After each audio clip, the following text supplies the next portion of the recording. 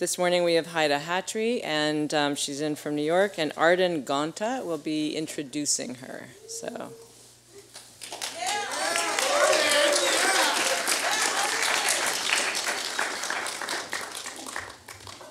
Hello. Memento mori, reminder of death. Humans have had a fascination of death for, well, as long as humans have been human. Much of human art has always directly spoken of ever present death. Yet in our art, we have also attempted to ignore death. We have tried to immortalize life subjects in paintings of beautiful day gone by, in portraits of loved ones past, and writing about an emotion that once haunted before the feelings withered away. Today I have the pleasure of introducing Heide Hatry, an artist who has brilliantly married the subjects of life and death in her art. In Heide Hatry's art, life exists in the memento mori. Art celebrating life does not change reality. Among her many exhibitions is Not a Rose, flowers crafted from animal offal, that is, organs and parts discarded after uh, slaughter. Miss Hatry had used this offal medium more literally in the past, constructing human busts from pig parts. But the bust immediately repelled viewers, so there was no room for conversation on the subject, and she decided to explore another medium. The Not a Rose flowers draw viewers in and then, only afterward, take hold, as the realization of death does in nature. Heide Hatry's art and the art she loves disrupts the status quo. Once it engages our consciousness, it actively, sometimes aggressively, challenges our comfort in life itself. It commands us to pay attention to our humanity, to our humanity compels us to question the benevolent truths we have quietly acquiesced to, like the beauty of dead flowers. It forces us to reassess our permanence. Heide Hatry's art sends shivers down our spines as we confront aspects of our mortality that we have looked away from. And then we discuss, and then we are awake. Please welcome Heide Hatry.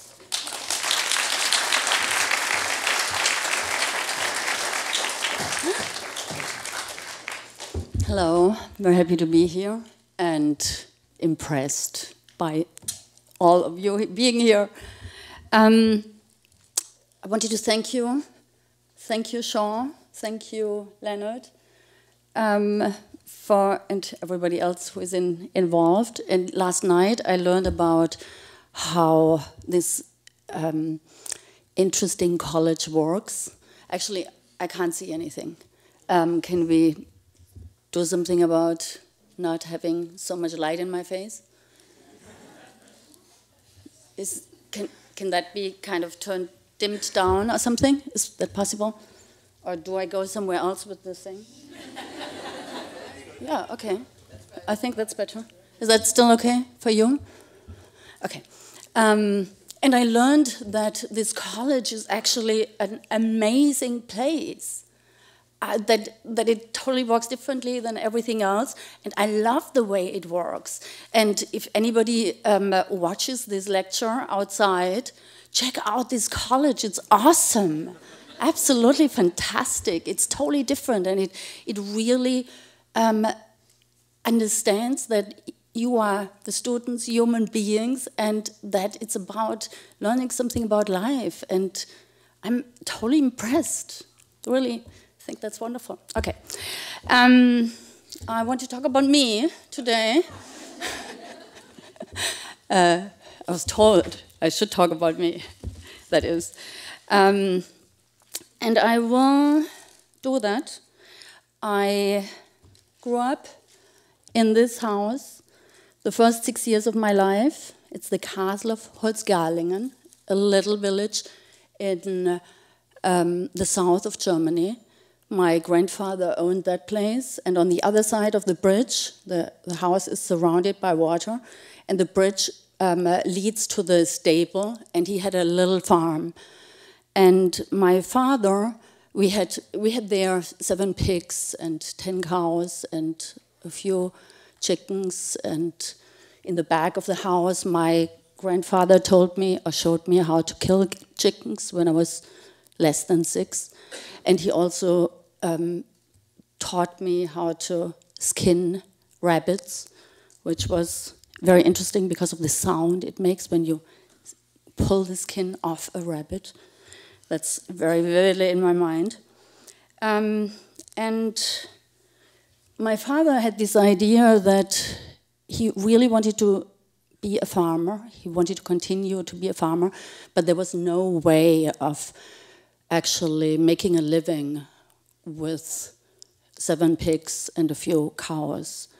So he had this idea to um, research what he can do to become a farmer or to stay, to be a farmer, but doing it in a way that he could actually uh, make a living.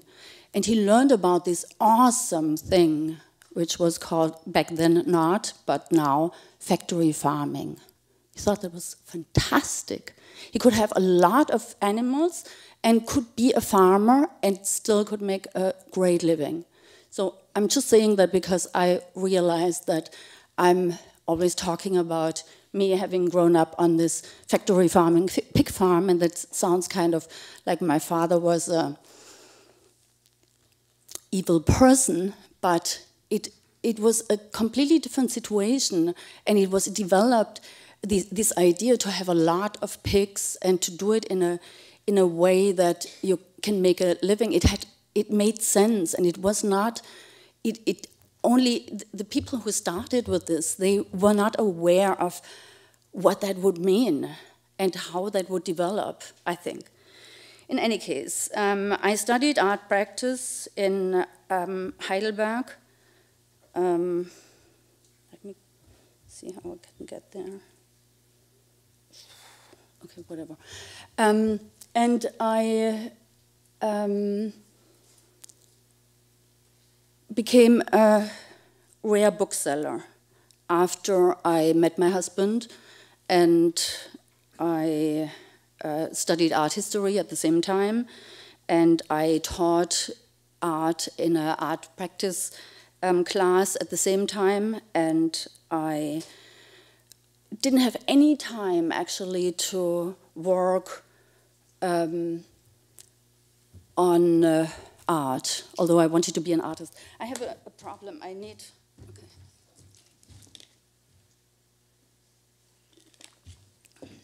Sorry. Um, and I, so I taught art. I was running the bookstore.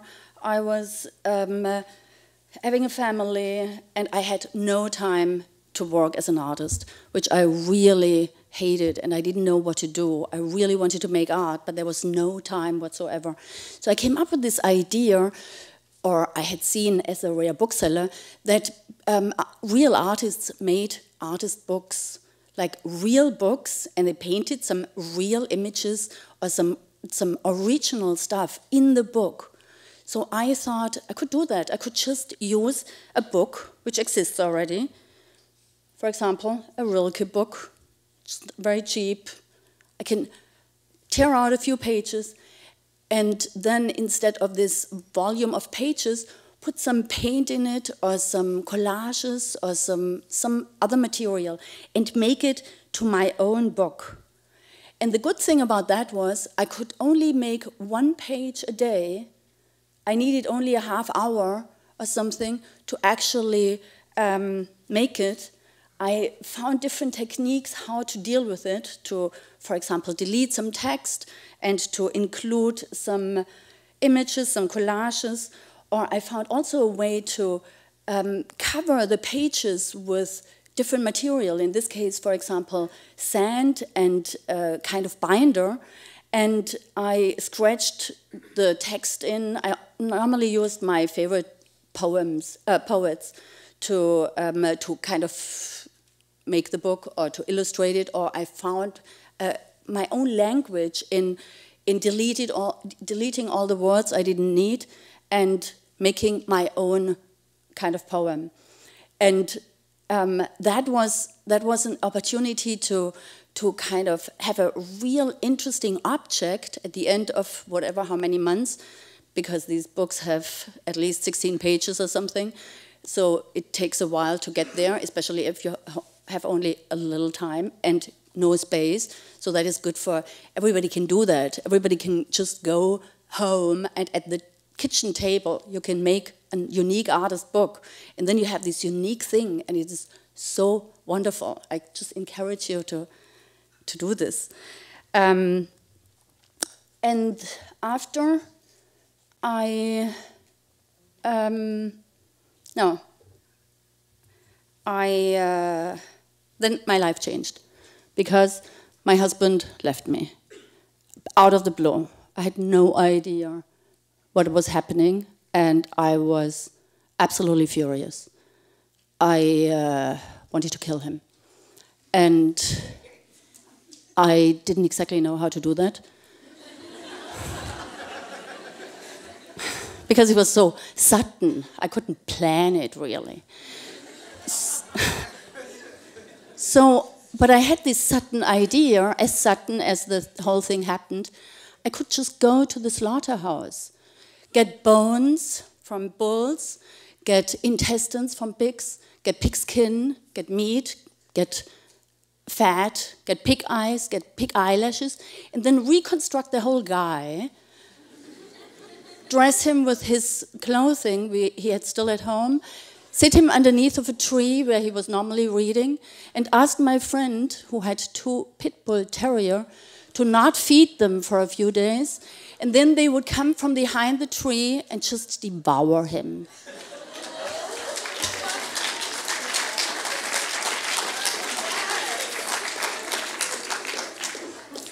and I would tape that.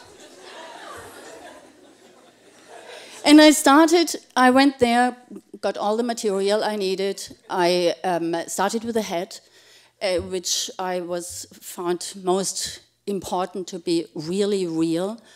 I had printed out some pictures of him uh, from different angles so that I would be able to do a three-dimensional portrait.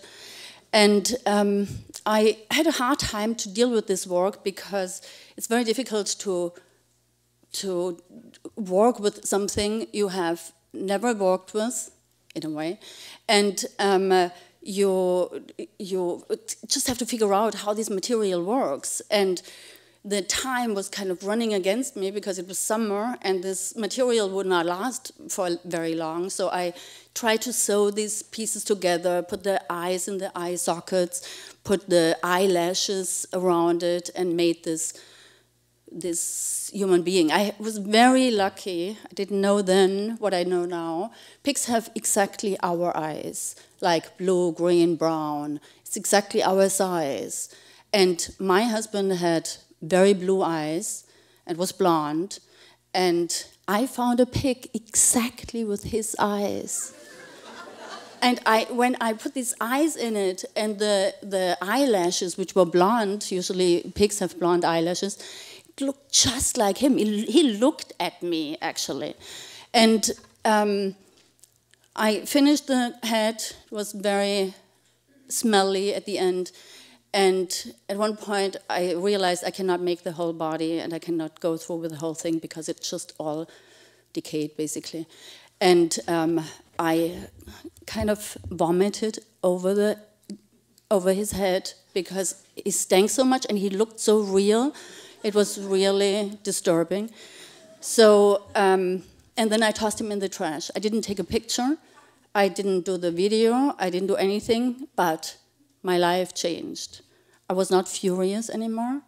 I was just sad that my life didn't work out as I wanted it, but it was it was life changing because I understood, okay, it's a new part of my life and I have just to, to deal with it.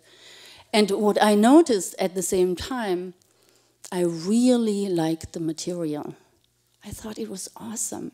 I had worked with a lot of material before, like stone, sandstone, jade, uh, clay, whatever material you ever get in your hands or your hands on in an art school. But this material that was so interesting because it was the real thing. You didn't depict something with something else, but you had the real thing. And that has a history, and that spoke to me and to other people who saw it. At that time, nobody saw it, obviously, but later on. and I, uh, sorry.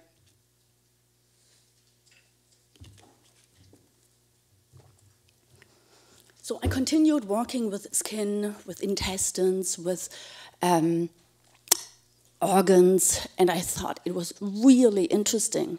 I mean, there are possibilities you wouldn't you wouldn't imagine just because of the material. So for two, from 2000, um, I, I, moved to, to New York in 2003, and I I had got a nice relationship with the meatpacking district, and they um, gave me everything I needed, and I I tried a lot of things doing with this material. And after uh, three years, having done nothing but working with the skin and then um, documenting it actually with photography. So because all the, the, the sculptures I made were all gone, um, I thought I, I want to make a book. I want to document what I did and I um, uh, and I was totally frustrated because all the work I had done didn't look like a style. I had this feeling an, an artist that was kind of my first time when I was an artist, a full-time artist, and I had this feeling I needed a style like recognizable. And I looked at all these photos I had printed out and felt this doesn't look like one person. It looks like several person, uh, several people did that, and I was thinking, how could I, how could I make, how could I make this work as one kind of body of work or something? And I, I was thinking about skin, and skin is kind of giving you your identity, at least for the viewer. When you look at somebody who has an enormous rash, you, you almost don't recognize that person. So the skin is kind of very important for for the viewer. And I was thinking I could make up new artists who don't exist, who have whom I would um, um, um, what is it? Not distribute the work to, give the work to. Um, yeah, exactly. Tribute the work to. So um, I I made this book it is called Skin. I function, I'm, I, have, I have the function of a curator, and I made up these people. So this is the first person, that's me, with a wig and with prosthetic makeup, meaning wax in my face and whatever. And I'm posing as this one of my artists, seven artists, um, and she makes a certain kind of work. For example, paintings. She paints onto skin. She uses wax and pigments to make portraits. This is another one. They look very like um, alive, or at least like embalmed people very waxy, but you can kind of see through the skin because there are 20 layers of wax on top of each other, and between these layers um, are pigments. And this was actually an accident because in the last layer, I went a little too long with the iron over it, and so the the pigments I I washed the pigments away, but the other layers still worked. So I kind of like that. This uh, this was a friend of mine, Erica, and I loved to use her because she was so beautiful. So this is the second one. I gave them different names. The names of them, they were connected to people who were very important in my art career or in my in development as an artist. Um, her name was Paula Ebanista, and I have attributed my entire biography to these people. So the, she was she was the one when I was a professional gymnast and a seamstress. And she, I attributed to her all the, the work which I felt uh, fit to that person. For example, cloth, making cloth out of pigskin. That is woven pieces of pigskin. Or I, I um, sewed a lot of, of dresses made out of skin. That is not so much sewn, but I made it, them with, with zippers and everything or I did these cutouts. They are a homage to Matisse. Um, there were several.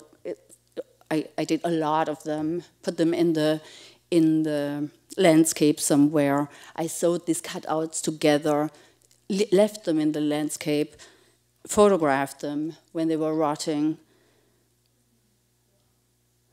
And this is Betty Horst, my alter ego. There, there is a lot of wax on my on my chin, and I have, for example, covered my eyebrows and put them further up. And they, all the pictures are not um, changed with Photoshop. They are all actually real, um, uh, real made-up faces. And she was the one who photographed things, mainly pieces of animals, which looked totally different than what they were. So this looks, in my opinion, a little bit like a female body, but it is just a piece of pigskin. This looks like a, a skinned penis, but it is just a piece of meat, and so on. So this was the next one. She was my um, Mexican um, artist I found who was doing uh, stuff. Also, a lot of wax in front of my skin, as you see, a little too much maybe. Um, and she made she made sculptures which actually um, uh, didn't have to be photographed. They they are preserved in different ways. So these are pig's bladders.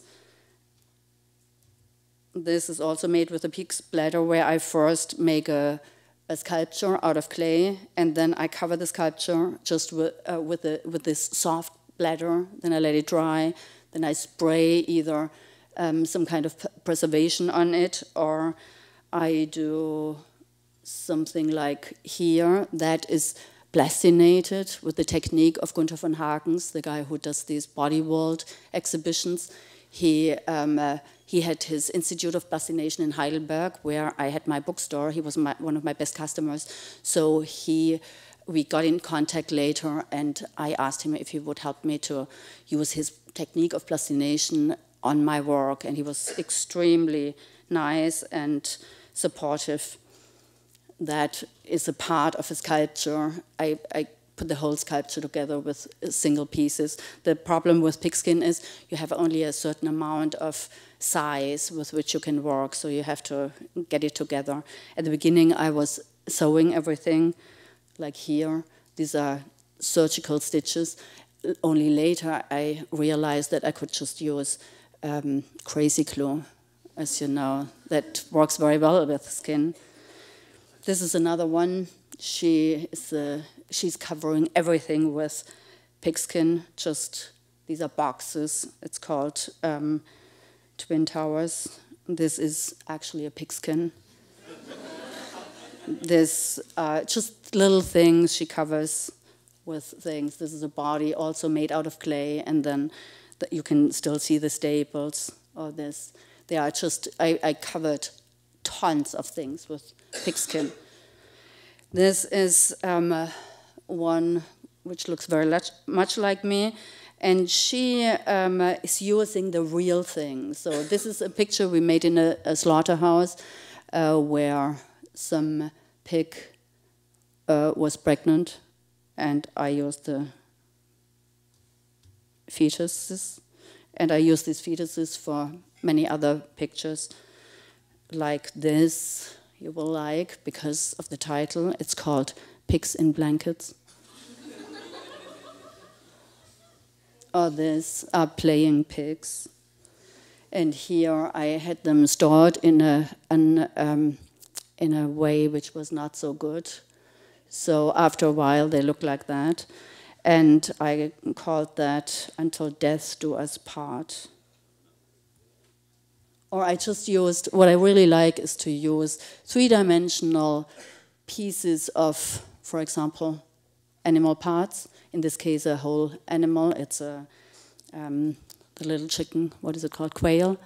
And um, the head is just a two-dimensional photograph. So, and I, the curator of this project, as a bookseller, um, I did a performance.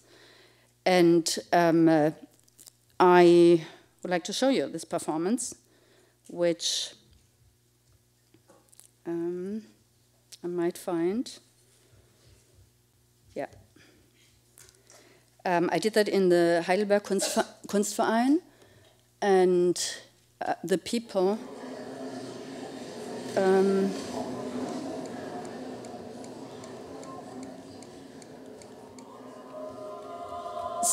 so this is my singing teacher. She is singing the text of a poem by Leonardo da Vinci, put in in music by um,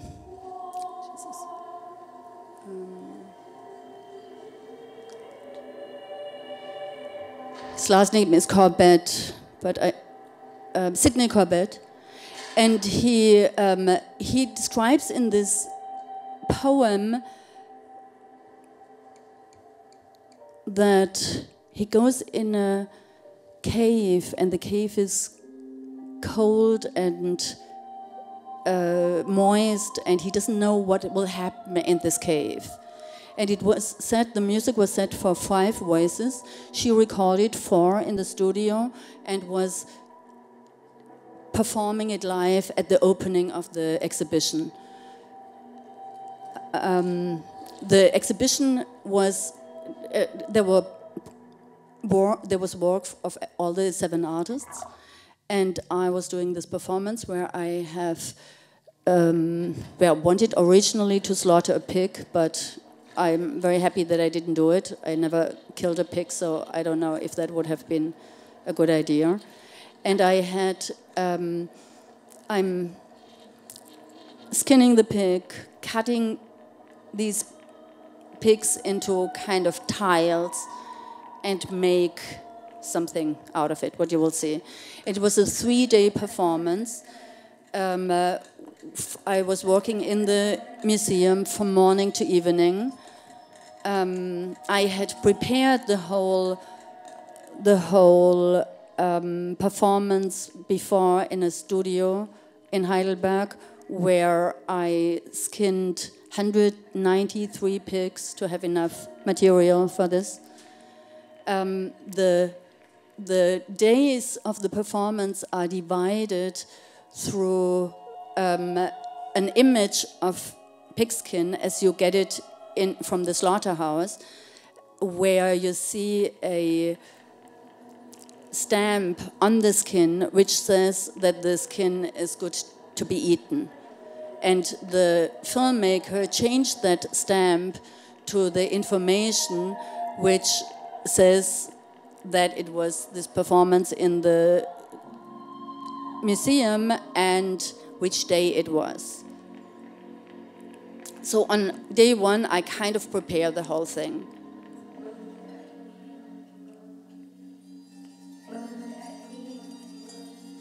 And they used her singing and chopped it in pieces for the for this audio.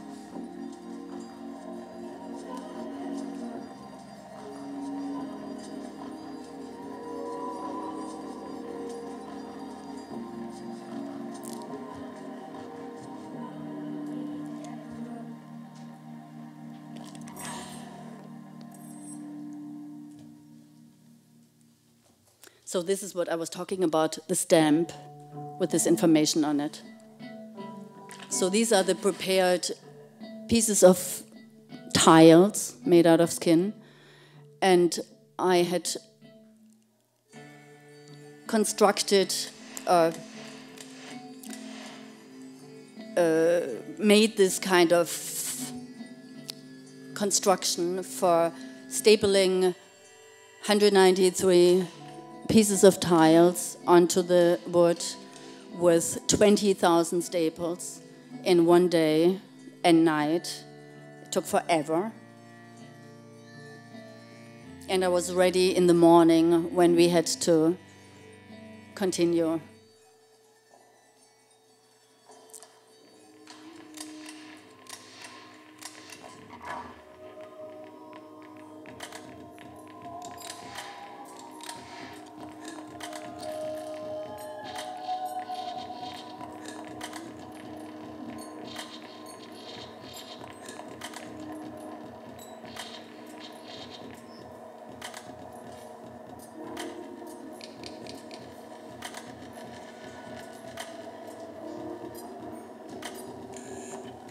And here you see the exhibition.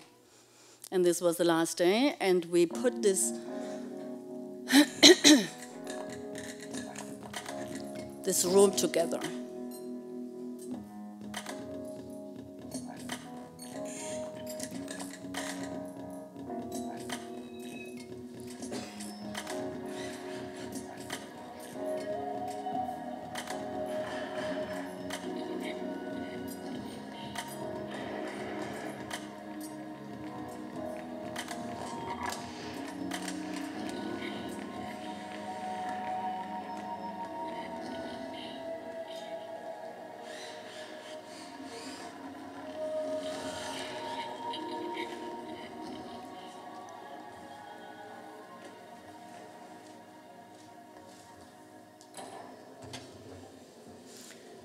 And then I invited people to go in the room and touch the room. Our rooms, our original rooms, were made out of skin, out of fur, out of um, the skins of animals. We lied on skins of animals. We, we dressed ourselves with skins of animals.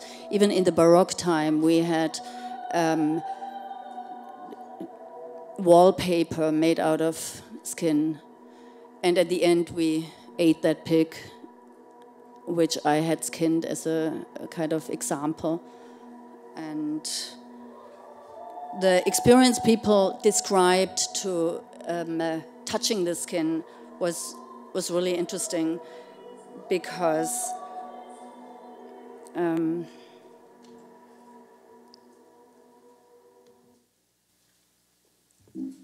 oops oops Um, oops.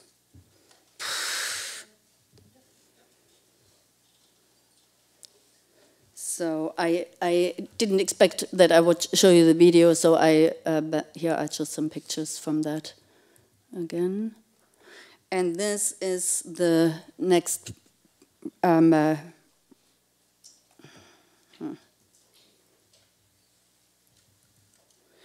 um, so they, they were all this, the seven people from the book. And the book is called Skin. And if you want, you can just give it around and look at it. I had invited, I had invited seven art historians to write about each of those seven artists. And it was a complete fake project. Only the people who were involved knew about it. Only the director of the museum knew about it and the writers. And we just acted like I'm the curator and this is a show of these seven female artists, all in the same age, basically, who make this same stuff. and I felt at that point that it was impossible to see that these are not seven different artists. But today I feel it looks like everything looks like, the same, and it was obviously done by one person. So um, another project I did was working with meat. For this piece, for example, I put a huge piece of, or a lot of pieces of meat into the freezer and made a huge piece of frozen meat, like a block, like a stone. And then I carved stuff out of it. I carved portraits or busts, I carved babies, I carved everything what I could come up with. And um, I presented them at the opening of a show which was called Meat After Meat Joy, which I also curated, but with real artists.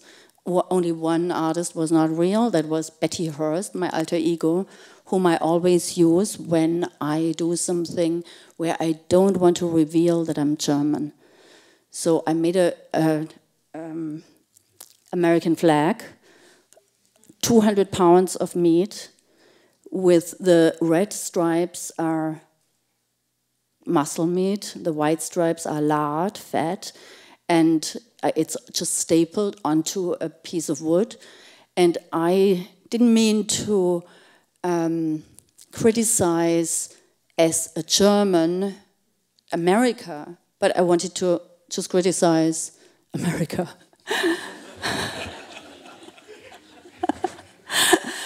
Uh, that was done in 2008, totally frustrated about Bush. And for the inauguration party of uh, Obama, we did something really nice. Um, I had a, a, wonderful art dealer in New York, um, Daneyal Mahmood, and he agreed that I could harvest millions of maggots and put them onto the onto the flag just before the evening celebration of the inauguration, uh, not inauguration of the election in November, and um, it was very difficult because these maggots who needed some meat to thrive, they stank so brutally that he actually literally passed out. And um, and then we, nevertheless, we did that outside. And it was, but outside it stank so much, it was unbelievable. And then we brought it, we sealed it, brought it in, and then uh, later the police evacuated the place because there was, it was really bad. Even though I had found possibilities to spray on it with uh, stuff which is supposed to take away the smell and everything, but that wasn't so successful. Um, and this is the next project I did. And I actually will do the same thing what I did before. I will show you how that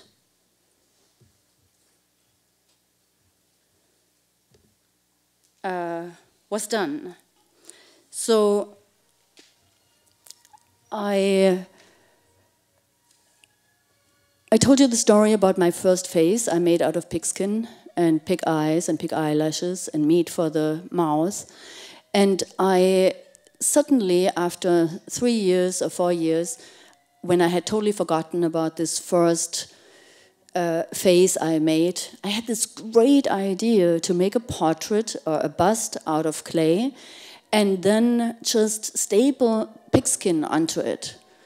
And I kind of did it in a completely different way because it was an, an art project now. But you can have a kind of idea how how that is done and how I made that. And that is, by the way, the overture of the Tannhäuser, just for those who wonder.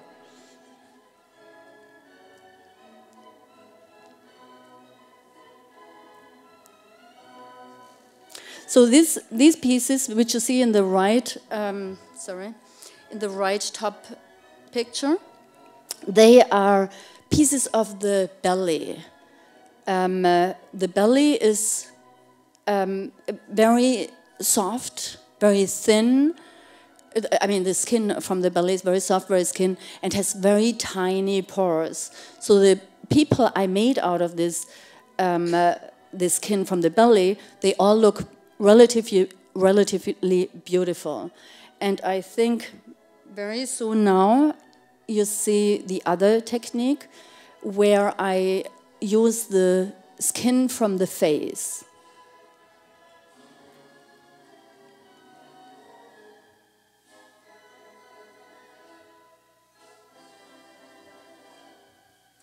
And here I use just for the for the eyes, um, for the eyelashes, I use little pieces of hair from the wig I will later put onto the person.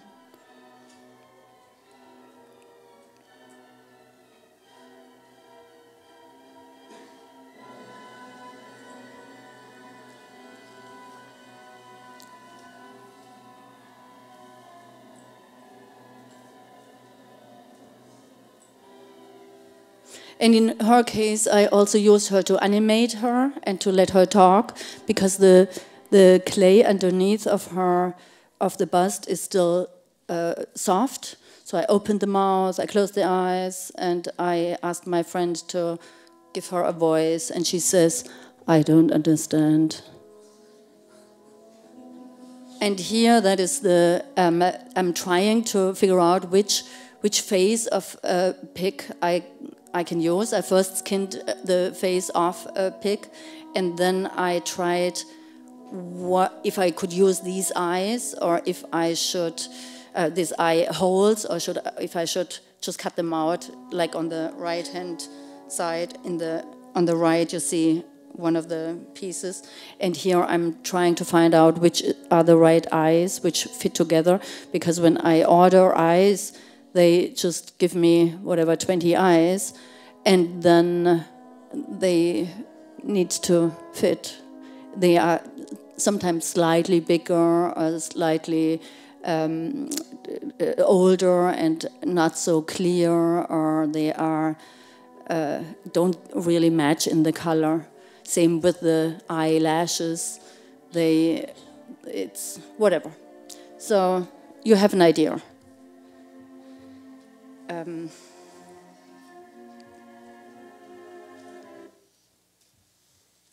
um,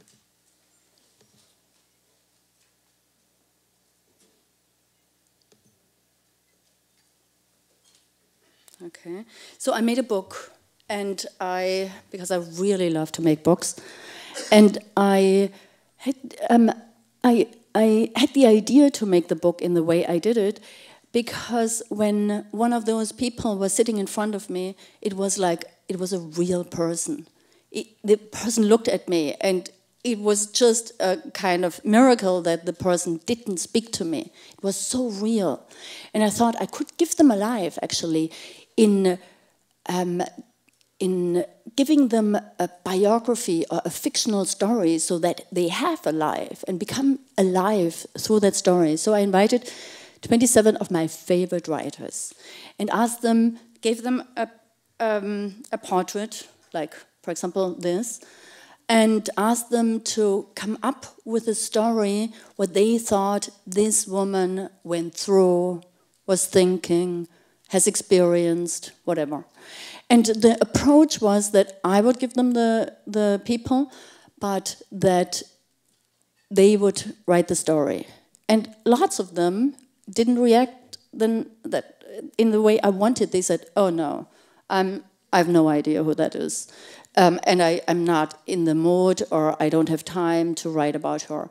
Why don't I give you a story, and you make the person who has that story so that you make her just in, in the way you feel about her when you read the story.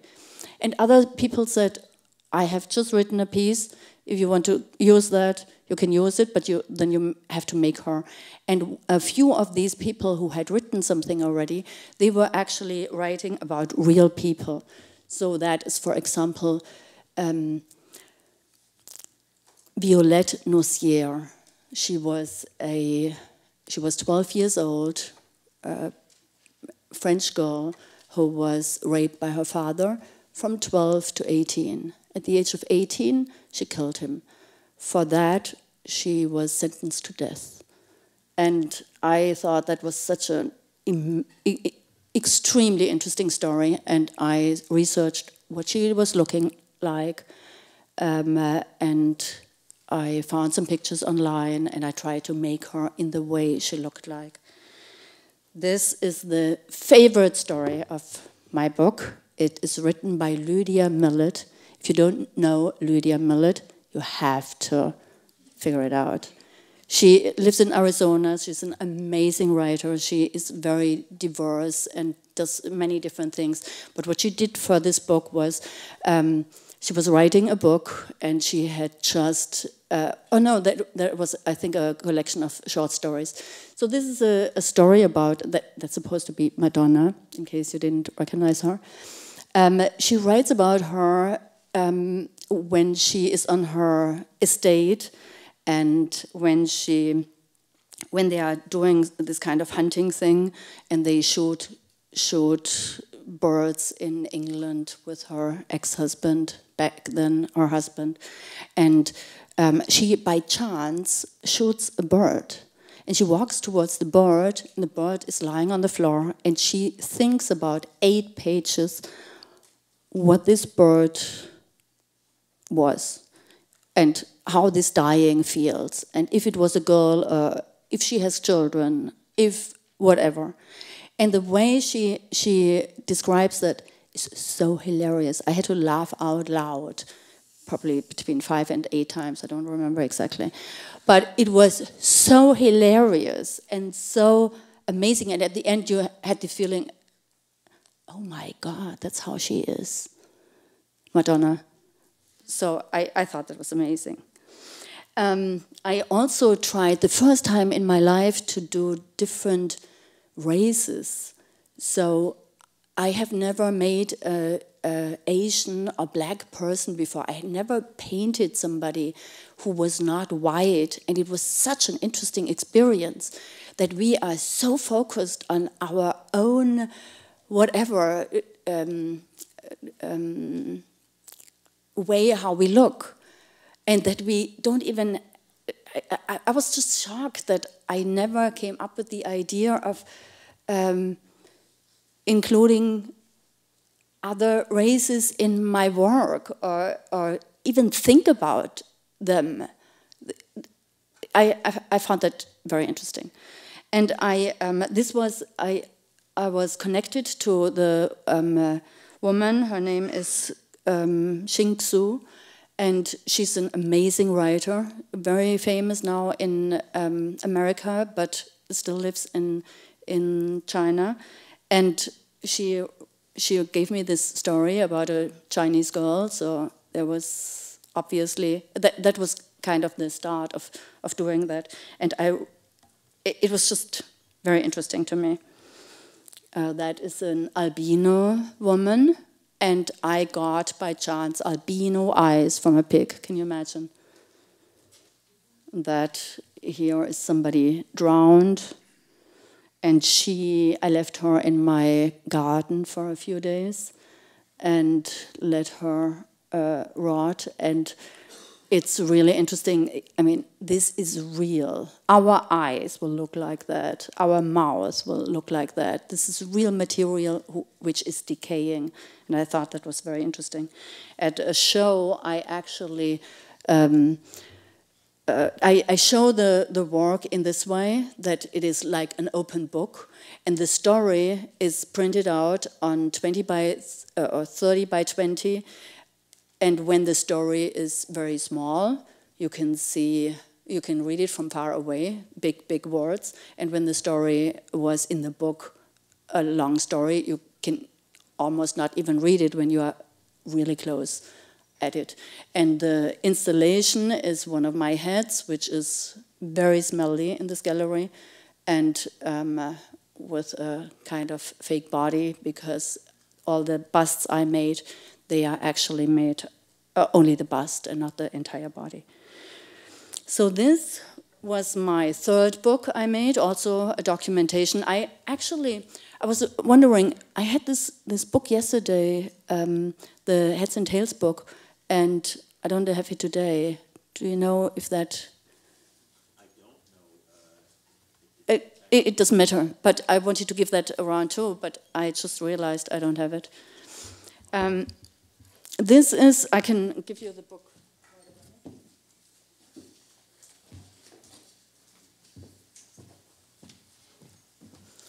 This was my um, third book project. Um, where I make flowers made out of mainly intestines. So this is, for example, the vocal cord of a chicken. And I thought it would be interesting to. I, I was very much interested in in making these flowers in a way that you wouldn't understand that they are not real I mean, this doesn't look so real, I, uh, I uh, admit, but this one, for example, looks like a pretty real flower. And because I took all photos outside in real light, and I placed, made them, placed them onto a branch or onto a, a, a plant, and gave them botanical names. So um, I don't know if you know, but before Linnaeus changed our kind of nomenclature, we had polynomial flower names or uh, um, botanical names, which meant there were a lot of names describing the flower so that you really knew what which flower that was. Then in 1855, this Carl Linnaeus came along and said, nobody can remember and understand all this system. You need a, a, a system which has only two names, a binomial system.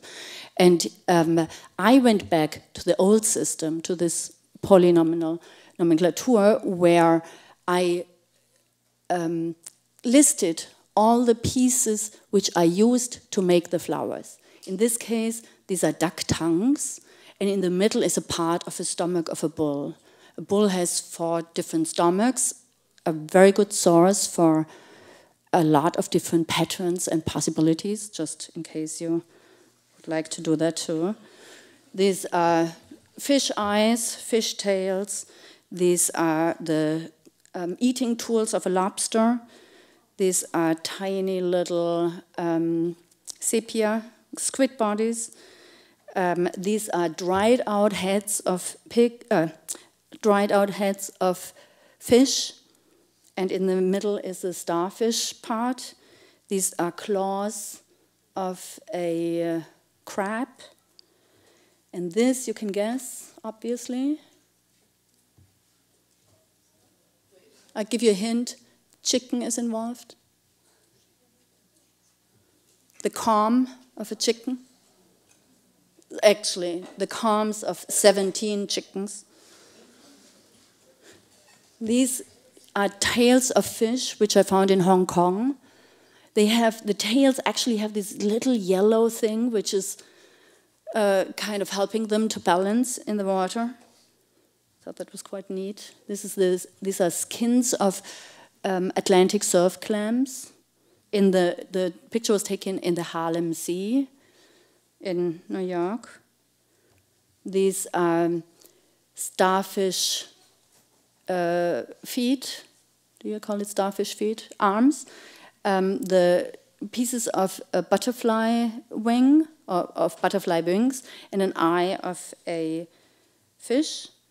This is an esophagus of a deer with deer eyelashes and again the skins of this Atlantic surf clam. And this is probably the realest, most uh, close to reality, but it's not a rose, as the title of my book. And it is uh, it's the made out of the tips of duck tongues. And I, um, for this book, I was really interested in why we love flowers, why flowers may lift us up, why they make us feel good. At least I know a lot of people who feel exactly that way as I do. And I was also interested in how we use and abuse nature. And I have invited 100 people to write tiny little essays for the Not a Rose book to kind of explain why that might be that we like flowers so much. And for example, um, the, the texts were not supposed to describe my flowers or do some kind of art historical thing. They were supposed to really address the question of flowers. What, what are they? What do they mean for us? And um, to understand, I asked completely different people, I mean, people from completely different fields, like a neuroscientist who explains how scientifically smell functions. So, what is actually going up on in our head when we smell something, how we distinguish the smell of a rose and the smell of a freesia or whatever.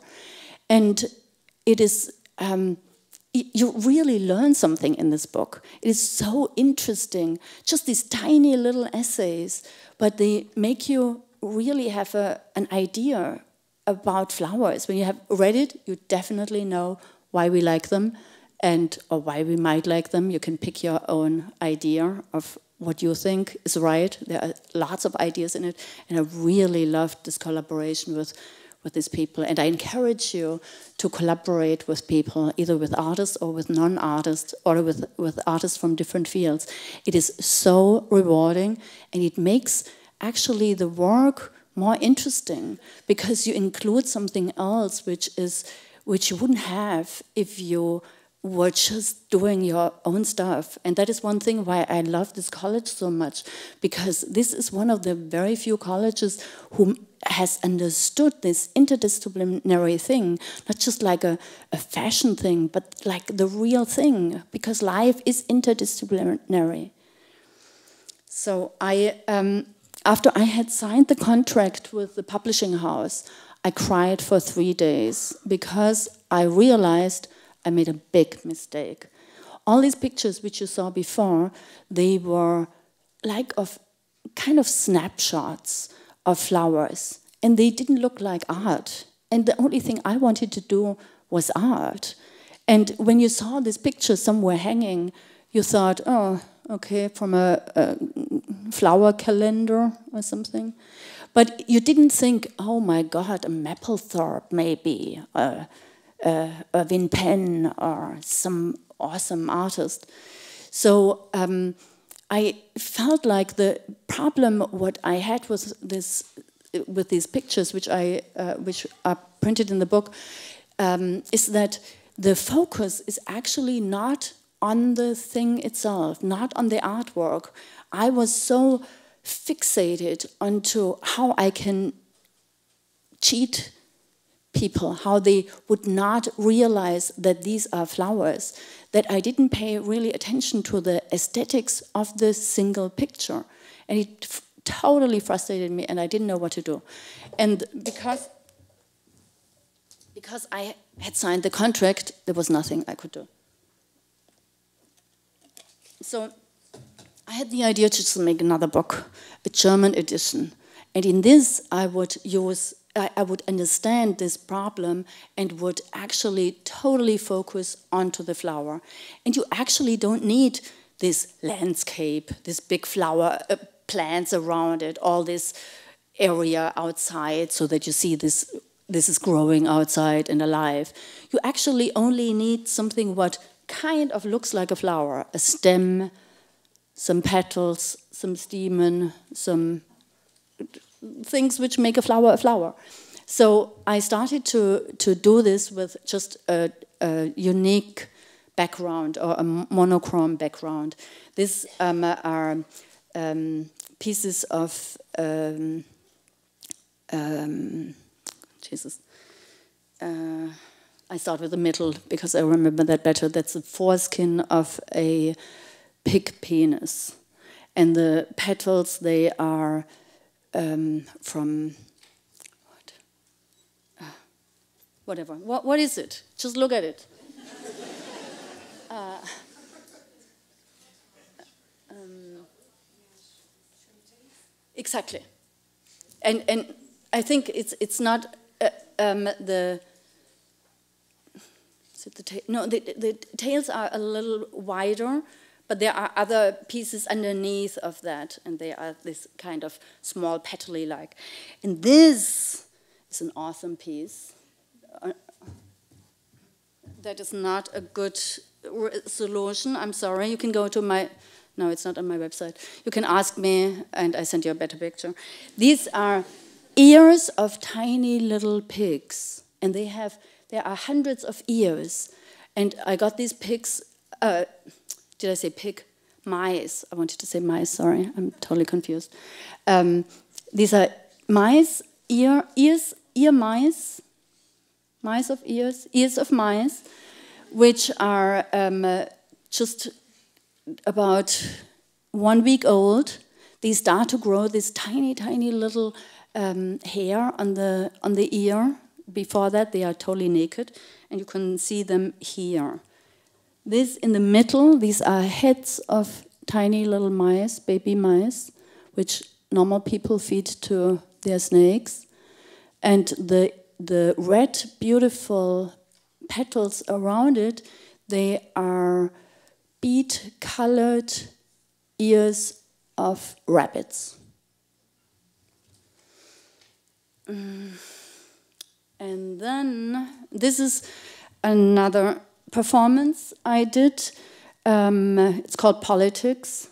I have sewn this flag with a factory um, sewing machine and cover it with pig's blood. And I then cover myself with that flag, and it is addressing, it was done in 2007 on 9 11, addressing this situation that we use politics as a kind of code to cover up things we would normally not do, for example, kill somebody.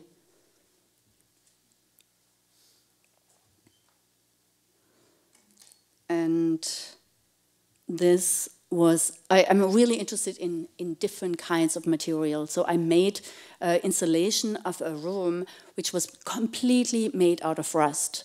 I had this idea to put iron particles in paint, and um, I thought if I later spray them with chlorhydric acid, I would make the particles rust, and maybe the whole thing would rust, and it worked.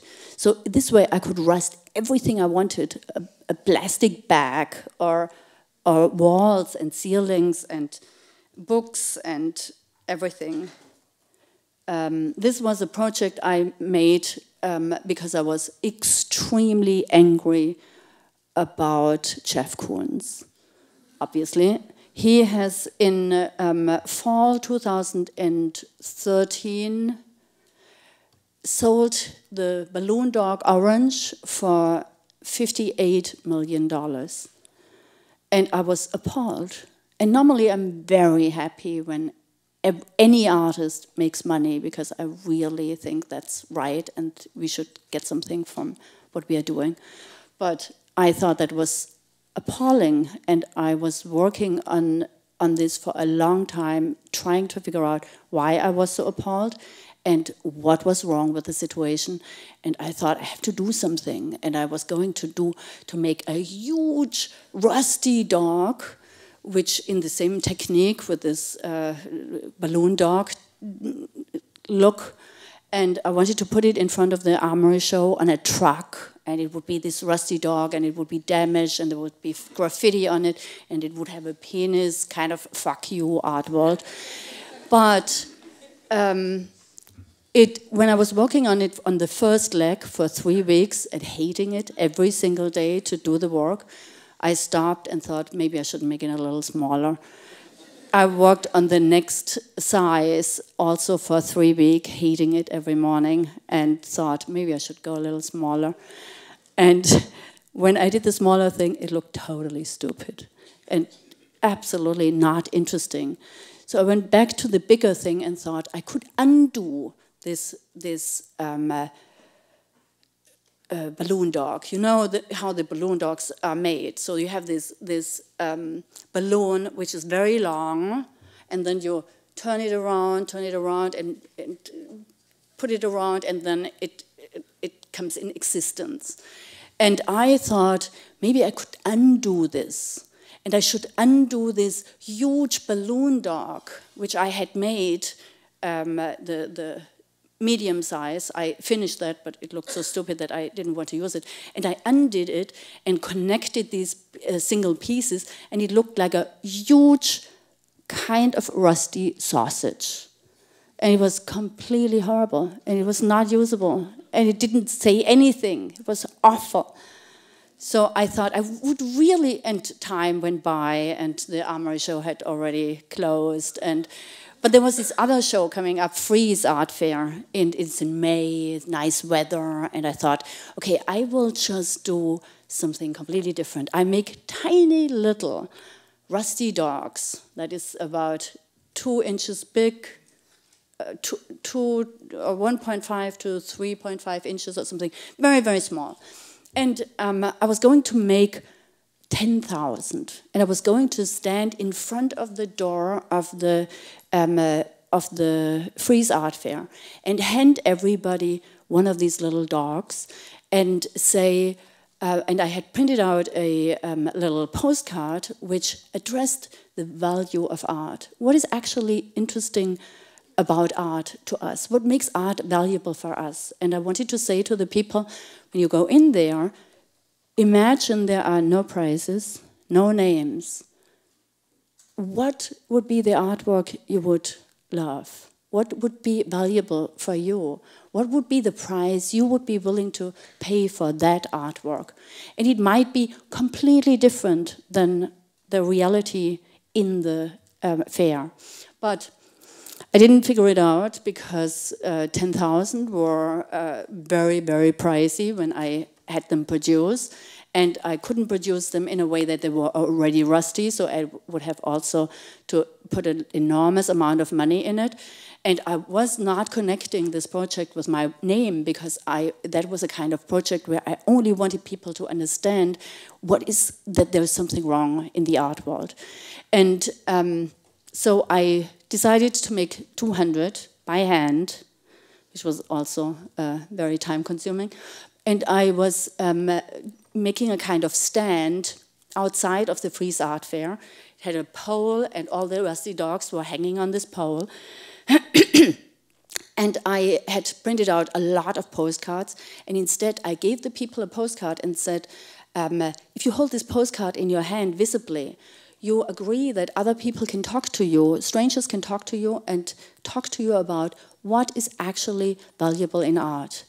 And you can go up to every person who has this postcard in their hand and you can talk to them what you think is valuable in art.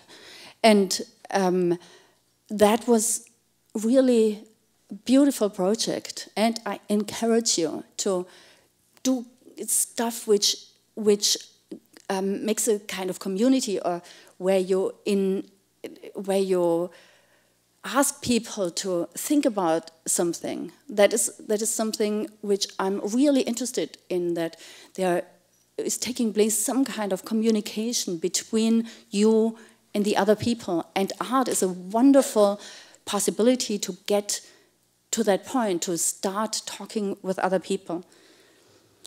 So this is another, uh, this is a book, a rusted book from that book room. And in 2010, there was this big oil spill in, uh, uh, done by BP, and I was extremely upset. And I invited, I invited everybody basically to uh, whom I know to make a, a, show, a benefit show for Audubon um, Society who helped the birds to survive. And I had a huge collection of roadkill in my freezer, so I took them out and prepared them and covered them with oil and made a big show with these oil-covered animals that you actually see how that looks like because we are not there and we are not going there and only a few of us might have gone there to clean help clean up but it's really so shocking what is going on and I wanted to to on the one side help, but also criticize and make people aware. So these opossums, I only had one opossum, so I had to cut it in half so that I would have two. This is a mole. And here I brought something for Sarah. Um, I did a, um, a project which was made out of chocolate so this is a chocolate book. I invented a technique how to connect microcrystalline wax with chocolate. So the thing looks exactly like chocolate, smells like chocolate, but is a little more uh, enduring. Is enduring the right word? Uh, than that. So, and uh, here is a homage to Tom Waits, chocolate cheeses. And this is my last project. I think I'm a little late. Um, sorry.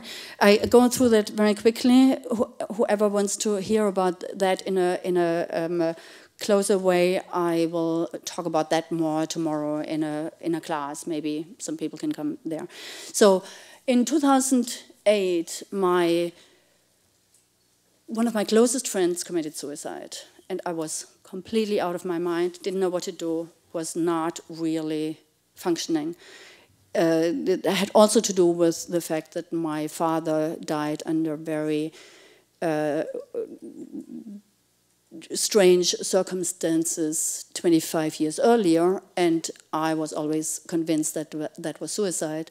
and I all the pain with my father came back to me, and I I was really out of my mind. Uh, this is my father. And I had this idea to use their ashes and make portraits out of the ashes. I took a piece of wood, covered it with wax, took a scalpel, on the scalpel a tiny little bit of the ashes, and inserted it in the wax at a certain temperature. So this is basically a mosaic. And every single piece of ashes is included into or inserted into the wax. This, hmm? Yeah. Um, uh, in this case, my father and my friend, um, uh, I didn't have the ashes because in Germany you don't get the ashes, you don't get a, a hold on to a dead person, no matter in which consistency that person is. So I used a substitute, but I imagined it would be their ashes and how amazing it would be to have them actually in the way they, they looked like. Um, at your home. You could talk to them, and they, it would be them. You would look at them, and it would not only look like them, but it would be them. So I um, did that. It took me about six months to figure out the technique and everything, how, how that worked. And after these six months, I was totally fine. I was really over it. I mean, I still miss them, I still love them, I didn't feel so much guilty as I felt before, but I was really uh, able to continue with my life.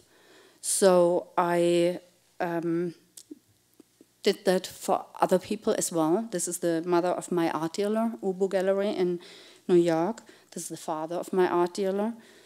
And I made portraits for other people. That is a, the father of a friend, that is a brother of a friend. Um, and the interesting thing was they all described their feeling exactly like the feeling I had, although they didn't do the painstaking six weeks work on it, which I thought was so meditative and helpful to get over that. But it was, it was just the presence of the person and to see at the same time the likeness. So um, I just show you a few more. And I um, thought I, I really want to do that as a kind of social project. And I uh, uh, talked to my art dealer, and he wanted to have $25,000 for a piece, which makes sense because it's a lot of work, and I'm an artist, and my work is not so cheap. And but in this case, I felt it was totally wrong because I didn't want to make it as an artwork. These are commissions. You cannot go in a gallery, or you couldn't go in that gallery and say, oh, I like her. How much is she? She's the mother of somebody. And she gave me her ashes so that I would be able to make that portrait. So it's a totally different system. And I talked to a lot of art dealers, and everybody said, don't I, I, was, I was really interested in doing a, a, social thing and work with funeral homes and make them, uh, give them a sample and tell them that they can ask for, um, uh, for that as a kind of alternative to an urn. And all the people in the art world said, it will ruin your career, don't do it. I think it will not ruin my career, and I'm doing it, and I found a new technique how I can make the same thing for $1,000. And then people have actually the possibility to get it because everybody can kind of get together $1,000 for something like that. And when it is for them as life changing as it was for me, it's definitely worth it. Okay, thank you.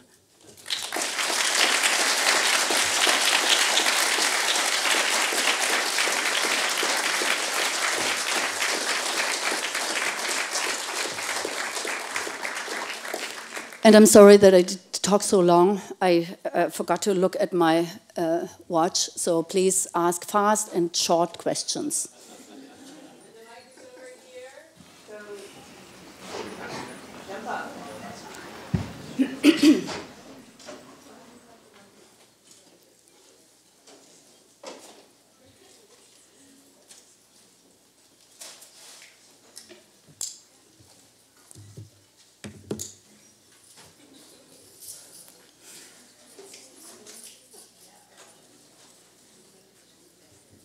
Oh, and one more thing. I brought you two of those pictures. Here in the front, there are um, two original pictures.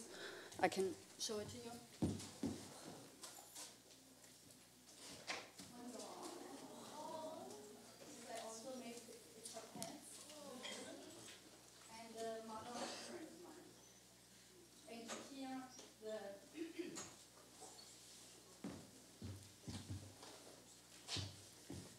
In the picture with the woman, the ashes are a little more coarse, and at the uh, in the one in the other one, the ashes are more fine, like pigments. And I also brought something for you, just so that I don't forget.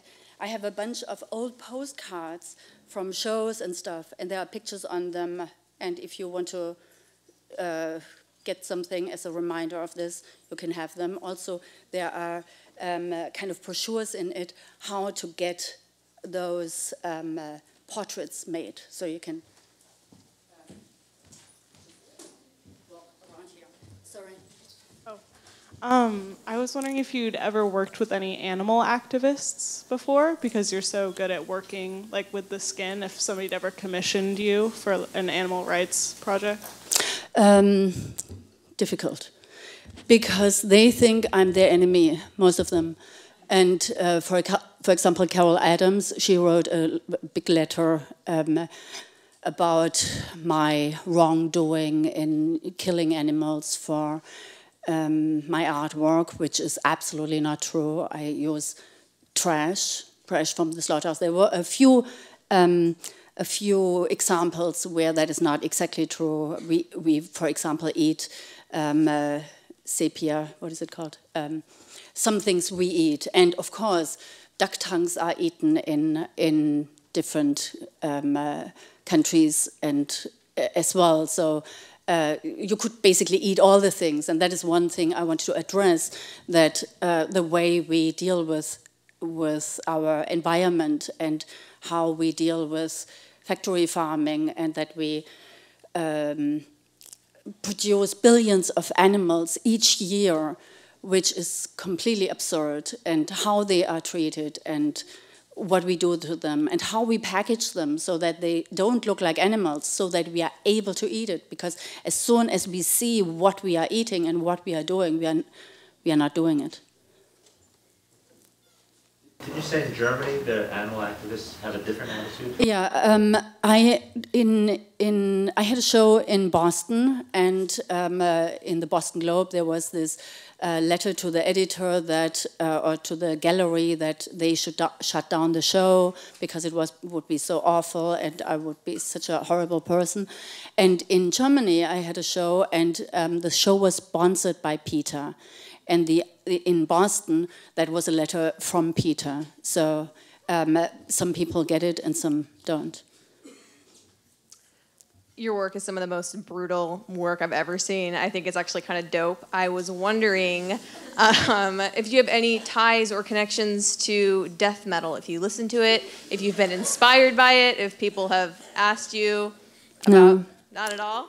I, am not inspired by it and I don't listen to it. I actually don't listen to any music because I cannot listen and do something else. So when I listen to music, I have to sit down and close my eyes and listen to it. Even if I want to clean up or do something stupid, I cannot do it when I listen to music. So um, I, but when I listen to music, I definitely don't listen to heavy metal. Okay.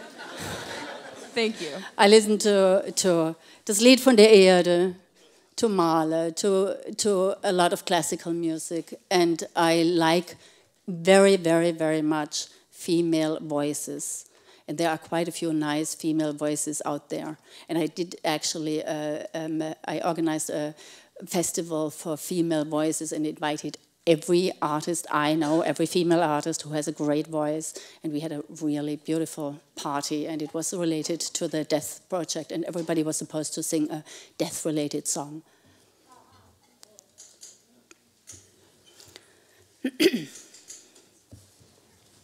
Hi.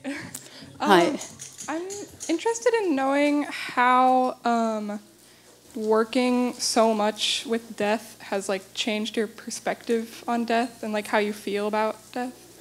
At the beginning, I didn't even realize that I'm working with death um, uh, for, I guess, more than 10 years. I only realized that when I started with this project.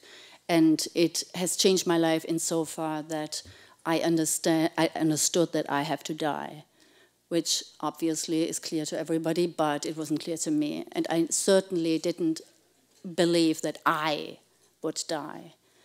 Um, and I, I only understood that, uh, understood that very recently, and I, I really um, want to be aware of that. And I, I think I understood much more about life and death, and I have a, a strong opinion about death and th think that we have to change our attitude to death and have to integrate it in life and have to deal with it in a different way because it's a part of life. And we just push it away. We it happens in the hospital in the funeral home. We don't want to have to do anything with it.